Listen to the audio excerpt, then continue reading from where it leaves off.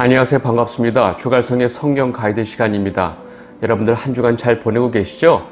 날씨가 아직까지 굉장히 낮에는 굉장히 더운데 여러분들이 이 햇빛 잘 조심하면 좋을 것 같습니다. 어, 오늘은 지난 시간에 이어서 이 바울의 2차 전도 여행이 마무리되는 장면까지 좀 보려고 합니다. 오늘 보게 될 내용 중에 굉장히 중요한 사건들이 많이 있습니다. 어, 마음 같아서는 사건 하나하나 이렇게 좀 자세히 좀 살펴보고 싶은데 그러다 보면 또 전체 흐름이 좀 약해지기 때문에 2차 어, 전도여행 끝까지 전체 그림을 잘 지금 우리가 보면서 오늘은 특별히 이 바울이 아덴에서 한 설교를 좀 중심으로 살펴보려고 합니다. 여러분 지난주에 이 바울과 그 일행이 2차 전도여행이 시작이 되어서 쭉 아시아 끝까지 갔다가 거기서 이 아시아 끝에서 성령의 인도하심으로 저 위에 비두기아 쪽으로 가려고 했지만 성령이 이것을 막으시고 바울은 결국 마게도냐로 건너가게 되죠. 그래서 마게도냐로 건너가면서 처음 갔던 도시가 빌립보였던 거 기억나시죠? 여러분 그 빌립보에서 이 점치는 귀신 들린 여종이 계속 귀찮게 하니까 바울이 그 귀신을 쫓아내죠. 그리고 그 주인들이 결국은 그 귀신이 나가기 때문에 자신들의 그 이득이 사라진 것을 보고 이 바울과 그 일행을 고발해서 바울과 신라가 아주 그냥 매를 시컬 맞고 이 감옥에 갇히게 되는 장면을 보았습니다.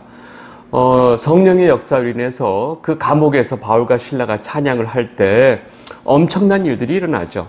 그 지진이 일어나고 오개문이 열리고 착고가 다 풀어졌죠. 그런데 바울과 신라는 도망가지 않았고 자기 목숨을 자결하려고 했던 그 간수의 목숨을 구하고 결국은 그 간수와 그의 가족들 모두가 다 복음을 듣게 되고 구원을 받게 되는 장면까지 우리가 봤습니다. 오늘은 그렇게 이 바울과 그 일행이 빌립보에서 큰 사건을 겪은 후에 이 바울의 일행이 데살로니가로 가게 됩니다. 그리고 데살로니가에서 바울은 3주를 머물게 됩니다. 사도행전 17장 1절에서 2절입니다. 그들이 암비볼리와 아볼로니아로 다녀가 데살로니가에 이르니 거기 유대인의 회당이 있는지라 바울이 자기의 관례대로 그들에게로 들어가서 새 안식일의 성경을 가지고 강론하며 바울은 새 안식일 즉 3주 동안 데살로니가에서 성경을 가지고 강론을 했습니다. 그리고 바울이 데살로니가에서 성경을 설명하면서 하나님의 아들이신 예수가 이 땅에 오셔서 고난을 받고 죽으시고 그리고 사흘 만에 왜 다시 살아나셔야 했느냐 하는 그 이유를 아주 정확하게 증거를 했던 것입니다.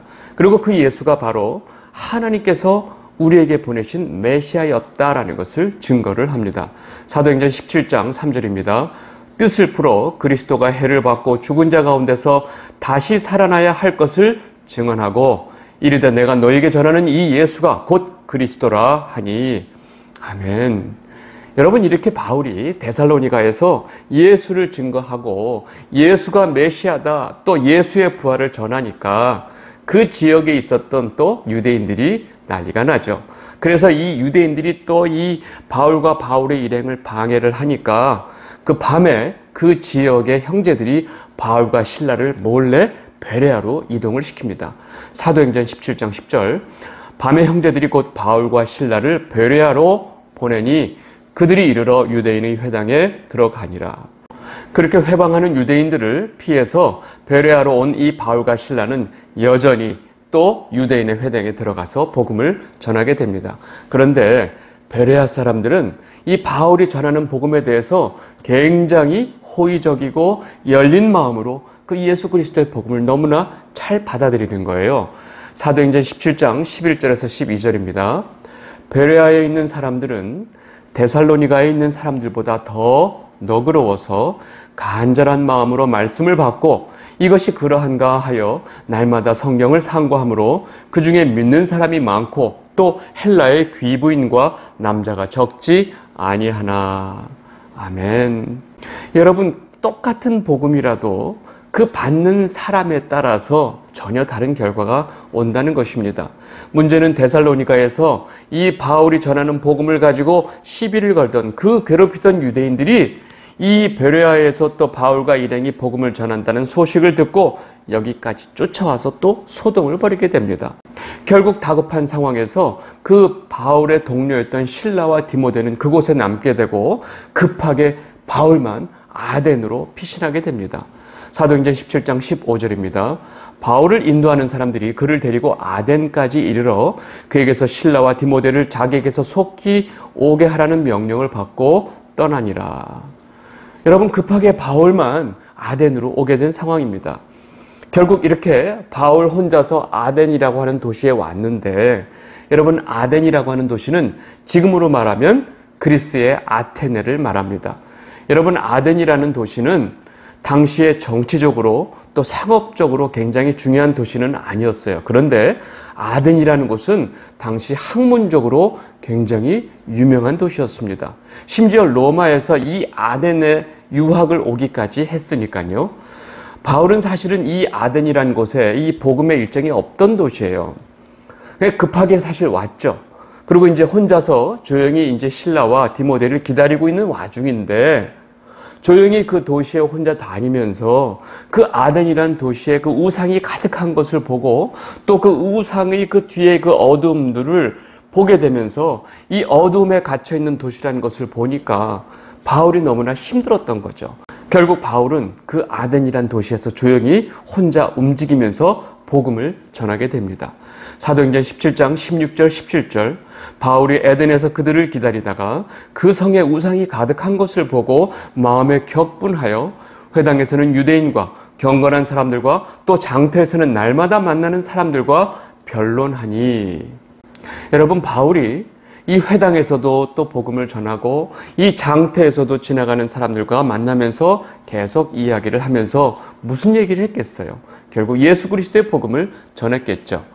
여러분 이 아덴이라고 하는 그 도시는 굉장히 철학적인 도시고 철학에 관심 있는 사람들이 많았기 때문에 이 사람들은 바울이 전하는 이야기를 뭔가 새로운 철학적인 어떤 견해고 이론이라고 생각을 했던 거예요.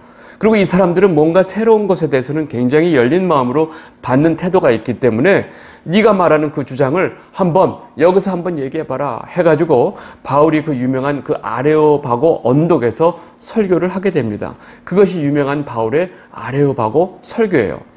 여러분 그런데 많은 분들이 바울이 이렇게 이 아덴이란 도시, 즉 이 아레오바고 이 언덕에서 했던 설교는 실패했다라고 말을 합니다. 저도 이 실패한 아레오바고 설교란 말을 너무나 많이 들었어요. 왜냐하면 그 설교에 열매가 없었다는 것입니다. 그 설교를 듣고 예수를 믿는 사람들이 별로 없었기 때문에 이 아레오바고 설교는 실패했다라고 말을 하는 것입니다. 여러분 한번 이 바울의 이 아레오바고 설교를 한번 듣고 한번 자세히 살펴보고 여러분들은 또 어떤 생각인지 한번 잘 생각해 보시면 좋을 것 같습니다. 사도행전 17장 22절 23절입니다. 바울이 아레오바고 가운데 서서 말하되 아낸 사람들아 너희를 보니 범사에 종교심이 많도다. 내가 두루다니며 너희가 위하는 것들을 보다가 알지 못하는 신에게라고 새긴 단도 보았으니 그런즉 너희가 알지 못하고 위하는 그것을 내가 너희에게 알게 하리라. 여러분이 아덴에 있는 사람들은 당시 최고의 학문이라고 하는 철학을 하는 사람들이 많이 있었고 그런 철학적인 사고가 널리 퍼져 있었던 한마디로 철학의 도시였습니다. 여러분 그리스 아테네 유명하잖아요. 그런데 그런 철학적인 사고가 아무리 깊다 한들 여러분 인간은 연약할 수밖에 없습니다. 여러분 한때 이 아덴이란 도시에 무서운 전염병이 돌았는데 그 전염병이 끝난 후에 자신들을 그 전염병으로부터 구해준 신들에게 감사 제사를 드리는 거예요. 그런데 이 사람들이 행여나 그 신들의 이름을 쓰면서 혹시 빠진 신이 있을까봐 그 여러 재단들 중에 어떤 재단에는 알지 못하는 신에게 라고 적었던 것입니다. 바울이 지금 그, 그 알지 못하는 신에게 라고 적혀 있는 그 재단의 이름을 보면서 지금 이 이야기를 시작을 합니다.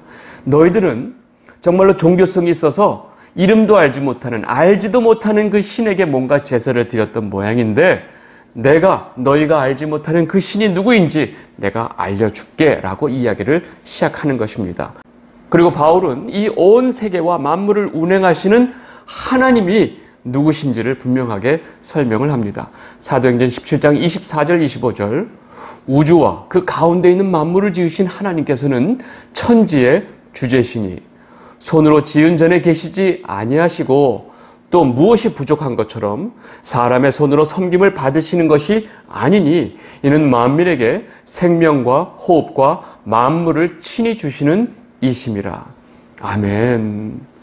온 천지와 만물을 지으신 하나님 아버지께서 이 온 세상의 주인이 되십니다. 라고 선포를 먼저 했어요. 그리고 나서 무슨 얘기를 하냐면 그 하나님께서는 사람이 만든 어떤 건물에 계신 분이 아닙니다. 왜 이런 말을 했을까요?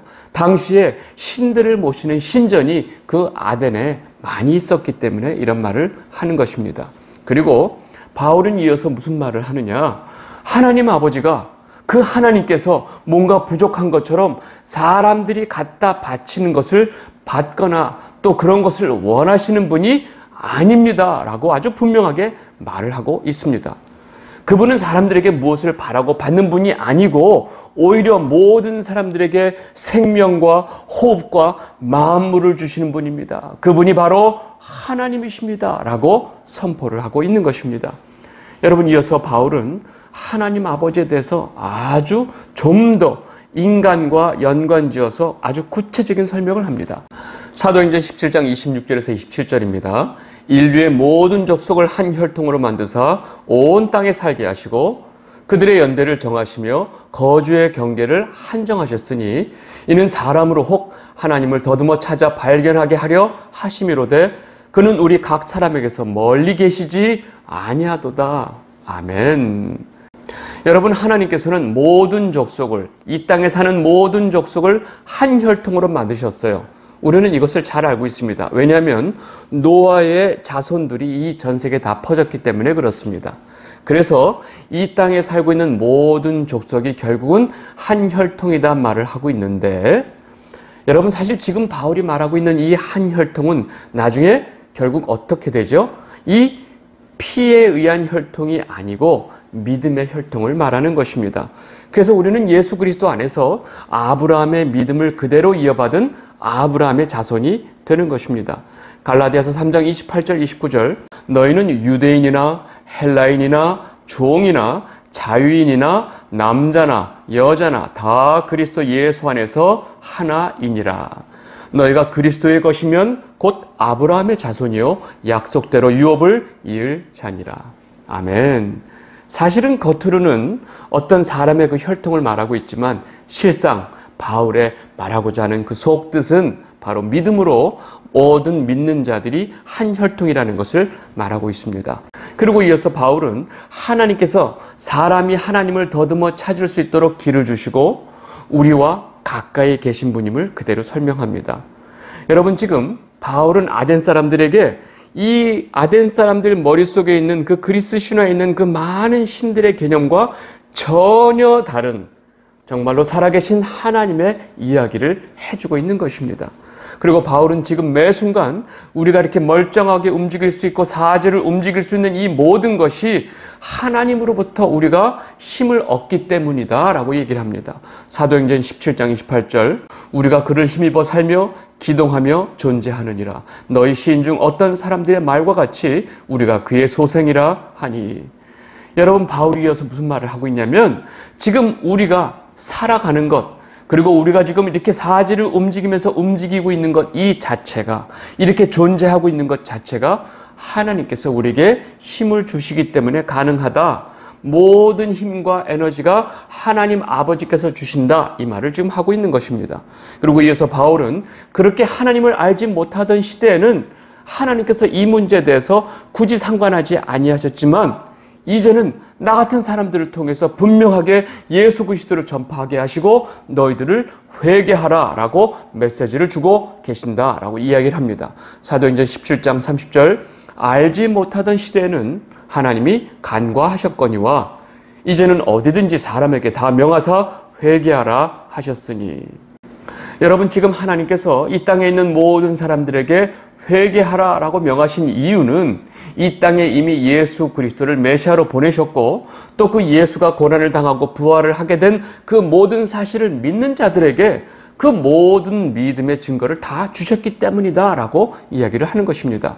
사도행전 17장 31절 이는 정하신 사람으로 하여금 천하를 공의로 심판한 날을 작정하시고 이에 그를 죽은 자 가운데서 다시 살리신 것으로 모든 사람에게 믿을 만한 증거를 주셨음이니라 하니라.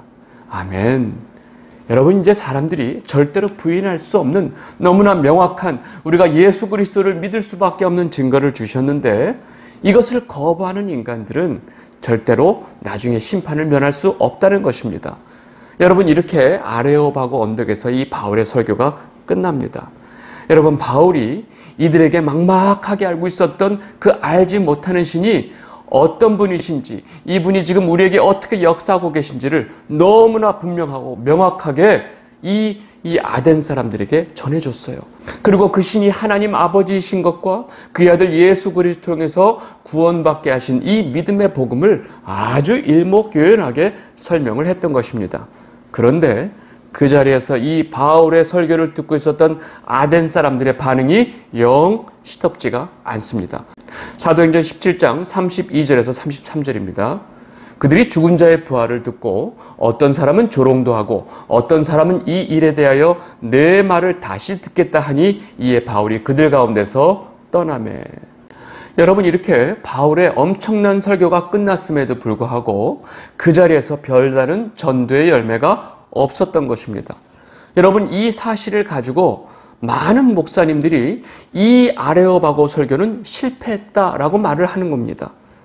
여러분 저도 이 부분에 대해서 여러 주석책이나 성경의 설명들을 다 찾아봤지만 모두가 비슷하게 이 아레오바고 설교는 실패한 설교다라는 논조를 사실은 다 가지고 있었습니다. 여러분 하나님을 알지 못하고 온갖 우상신을 섬기면서 자신들이 섬기는 신이 누구인지도 알지 못하는 자들에게 지금 하나님을 설명하고 예수 그리스도를 전하는 이 설교가 성공한다는 것은 무엇일까요? 여러분 왜 예수 그리스도의 복음이 전달되고 전해지는 이 상황에서 성공이냐 실패라는 개념을 사용할까요? 여러분 그렇게 예수 그리스도를 전하는 설교를 듣고 많은 사람들이 거기서 깨지고 예수 그리스도를 믿게 되면 성공한 설교이고 설교 이후에 그렇게 예수 그리스도의 복음을 받아들이는 사람이 별로 없으면 실패한 설교인가요? 여러분 어떻게 하나님의 복음, 예수 그리스도의 복음을 전하는 그 자리에서 이 세상 사람들이 가지고 있는 아주 경박하고 저질스러운 개념이 들어왔을까요? 여러분 설교가 무슨 비즈니스인가요? 여러분 제가 설교를 했는데 유튜브에 조회수가 많이 나오면 이것은 성공한 설교고 조회수가 별로 안 나오는 설교는 실패한 설교인가요? 여러분 우리가 분명히 알아야 합니다. 설교라는 것 자체에 대해서 성공했냐 실패했냐라는 표현을 쓰는 것 자체가 아주 잘못됐다는 것입니다. 여러분 설교는 성경에 있는 하나님의 마음과 뜻을 사람들에게 전달을 하는 행위입니다. 여러분 1차적으로 하나님께서 전달하시고자 하는 그 마음과 뜻을 그 설교가 잘 바르게 담아내고 있느냐가 제일 중요합니다. 다시 말해서 설교는 하나님의 마음과 이 뜻, 즉 복음이 전달하고 있는 그것을 잘 담아내는 것이 제일 중요하다는 것입니다. 그리고 2차적으로 그 내용을 사람들한테 잘 이해할 수 있도록 잘 전달했느냐가 두 번째로 중요합니다. 여러분 설교자나 복음 전도자의 역할은 여기까지입니다. 그리고 여기까지 하나님 보시기에 좋았다면 굳이 그것을 저는 성공한 설교다라고 말을 하는 것입니다. 그렇게 전달된 복음이 사람들에게 전달되는 과정에서 사실은 성령 하나님께서 역사를 하시는 것입니다. 여러분들이 생각하시기에 지금 바울이 아레오바고 언덕에서 했던 설교가 실패했나요? 왜 그 실패한 설교를 누가가 이렇게 처음부터 끝까지 다 사도행전 그 내용에 기록을 했을까요? 왜 지금 몇 천 년이 지난 우리에게까지 이렇게 그 설교 내용이 다 그대로 전달이 됐을까요? 이렇게 설교하면 실패한다는 것을 보여주려고 누가가 그렇게 했을까요? 아닌 거 아시죠?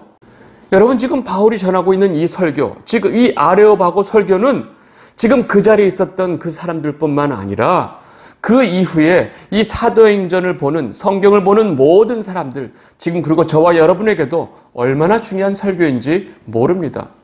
여러분 지금 바울이 이 아레오바고 언덕에서 했던 설교는 하나님에 대해서 전혀 알지도 못하고 예수 그리스도의 이름조차 들어보지 못했던 이 아덴 사람들에게 하는 아주 기초적인 설교의 내용이라는 사실을 우리는 알아야 합니다. 그런데 2023년 현재 한국에는 여전히 큰 건물을 지어놓고 이걸 성전이라고 말하면서 이 성전에만 하나님이 계신 것처럼 말하는 목사들이 널려 있고 또 그것을 믿고 있는 성도들이 너무나 많다는 사실입니다. 그리고 하나님께서는 뭔가 늘 부족한 듯한 느낌을 주면서 사람들의 돈과 물질을 하나님께서 너무나 좋아하시기 때문에 우리는 끊임없이 하나님 앞에 돈과 물질을 바쳐야 된다. 그래서 하나님께서 기뻐하신다라고 생각하는 사람들이 얼마나 많은지 모른다는 것입니다. 왜요? 그렇게 배웠고 지금 끊임없이 그렇게 가르치는 목사들이 넘쳐나기 때문입니다. 여러분, 지금 우리 수준이 이 정도 수준인데 어디 감히 아레오바고 그 바울의 설교가 실패했느니 성공했느니 말하는 우리의 모습이 너무나 초라하고 비참할 지경입니다. 여러분 어떤 설교가 성공한 설교이고 어떤 설교가 실패한 설교인지 여러분 그것은 하나님께서 결정하시는 것입니다. 여러분 이제 이 아레오바고 언덕에서 했던 바울의 설교가 실패한 설교다라는 이런 부분에 대해서 명확하게 이해하게 되시기를 바랍니다. 넘어가겠습니다. 여러분 바울은 아데에서 이런 일을 겪고 그리고 이제 고린도로 넘어오게 됩니다. 그리고 고린도에서 아굴라와 브리스길라를 만나게 됩니다. 여러분 이 두 사람은 바울과 같이 천막업을 하는 사람들인 거 알고 계시죠? 그리고 고린도에 바울이 왔을 때 마침내 이 고린도로 신라와 디모데도 오게 됩니다. 여러분 바울은 갑자기 아주 든든한 동역자들이 옆에 다 있게 되었어요. 그런데 이런 상황에서 바울은 환상 가운데서 주님의 다음과 같은 음성을 듣게 됩니다. 사도행전 18장 9절에서 10절입니다. 밤에 주께서 환상 가운데 바울에게 말씀하시되 두려워하지 말며 침묵하지 말고 말하라. 내가 너와 함께 있음에 어떤 사람도 너를 대적하여 해롭게 할 자가 없을 것이니 이는 이 성중에 내 백성이 많음이라 하시더라. 아멘. 여러분 왜 주님께서 환상을 통해서 바울에게 이런 말씀을 하셨을까요? 여러분 바울은 지금 고린도의 옆에 아주 든든한 동역자들도 많이 있지만 사실 끊임없이 바울을 대적하고 방해하는 이 유대인들의 공격과 해방으로 인해서 사실은 굉장히 많이 힘들어하고 있었던 것입니다. 이때 주님께서 바울에게 용기를 주시고 주의 손길로 바울과 그의 일행들을 지켜주고 계신다는 사실을 확인시켜 주신 것입니다. 그리고 주님께서는 이 성중에 내 백성이 많다. 그러니까 너는 용기를 가지고 복음을 전해라 라고 말씀하시면서 바울이 정말로 고린도에서 복음을 분명히 전해야 될 아주 중요한 이유를 알려주셨던 것입니다. 그렇게 주님께서 주신 힘과 용기를 가지고 바울은 고린도에 1년 6개월을 머물면서 복음을 전하게 됩니다. 사도행전 18장 11절 1년 6개월을 머물며 그들 가운데서 하나님의 말씀을 가르치니라. 아멘. 여러분 데살로니가에서는 바울이 3주만 머물고 떠나야만 했어요. 그리고 다른 도시들도 좀 복음을 전하다 싶으면 유대인들의 방해 때문에 곧 떠나야 했어요. 이런 생각을 해보면 고린도에서 이렇게 1년 6개월 동안 머물 수 있었던 것은 정말로 성령의 도우심이고 주님께서 지켜주셨다는 사실입니다. 그렇게 한 1년 6개월 동안 장기간 사역을 했지만 결국 때가 되니까 고린도에서도 유대인들의 공격이 아주 노골화되고 시작이 되었습니다. 그래서 바울은 또 고린도에서 그 형제들과 작별하고 떠나게 되는 것입니다. 사도행전 18장 18절입니다. 바울은 더 여러 날 머물다가 형제들과 작별하고 배 타고 수리아로 떠나갈새 브리스길라와 아굴라도 함께 하더라. 바울이 일찍이 서원이 있었으므로 겐그라에서 머리를 깎았더라. 여러분 이렇게 바울은 겐그라에서 하나님과의 서원을 확인하면서 머리를 깎고 에베소에 잠깐 들렸다가 안디옥으로 돌아오게 됩니다. 사도행전 18장 21절 22절입니다. 작별하 이르되 만일 하나님의 뜻이면 너에게 돌아오리라 하고 배를 타고 에베소를 떠나 가이사랴에 상륙하여 올라가 교회 안부를 물은 후에 안디옥으로 내려가서 여러분 이렇게 바울이 안디옥에 돌아오면서 2차 전도 여행이 끝나게 됩니다. 여러분 바울은 1차 전도 여행 때와는 이 스케일이 좀 달라졌죠. 2차 전도 여행 때는 바울의 계획보다 훨씬 더 큰 계획으로 성령께서 저 마게도냐 유럽 지역까지 복음을 전하게 하셨던 것입니다. 왜냐하면 이 모든 전도 여행의 시작도 성령이셨고 이끌어 가시는 분도 성령 하나님이시고 이 모든 전도를 주도하시는 분이 바로 성령 하나님이셨기 때문에 그렇습니다. 이 영상을 보고 계신 주갈성 성도 여러분, 지금 이 순간 여러분들의 삶은 누가 주도하고 계신가요? 여러분 이 질문에 대한 답은 여러분들 마음속에다가 하세요. 그리고 이 순간까지 매 순간 우리를 이끌어주고 계시고 또 이 순간 우리를 이끌고 계신 그 주님께 감사와 찬양을 돌리게 되시기를 진심으로 바랍니다. 오늘은 여기까지 하도록 하겠습니다. 감사합니다.